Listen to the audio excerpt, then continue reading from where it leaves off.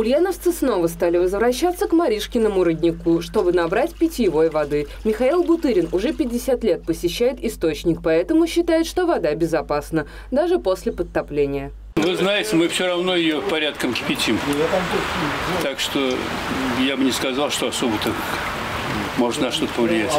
Вода в роднике, по заключению специалистов, действительно пригодна для питья после кипячения. А вот что в соседнем водоеме, куда течет вода из двух источников, пока непонятно. После откачки воды мусор так и не убирали. Ульяновские общественники считают, что это место может стать рассадником бактерий, которые со временем отравят и питьевой источник, например, через птиц. Чтобы это выяснить, совместно с региональным министерством природных ресурсов из озера взяли образцы воды для лабораторного анализа анализа. Мы сегодня отбираем пробы на э, бактериологию и на вирусологию.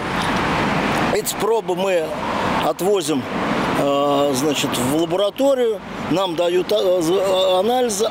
Исследование планируют завершить максимум через две недели. По результатам будут решать, что делать дальше. На неопределенный срок отложили и уборку территории.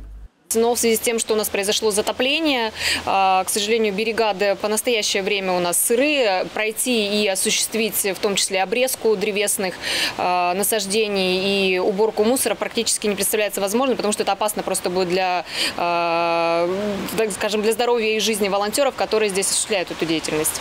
Напомним, что этим летом родник подтопило. Питьевой источник долгое время был недоступен ульяновцам. Юлия Адамова, Сергей Кудаков, Улправда ТВ.